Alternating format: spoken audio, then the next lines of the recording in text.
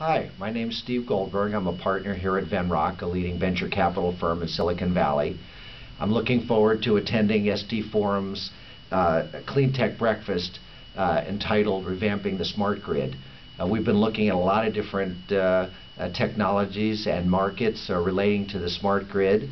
Uh, specifically, I spend a lot of time working on home energy efficiency and technologies that can help us all uh, improve and reduce our energy usage. So again, thanks a lot. I look forward to seeing you at the event.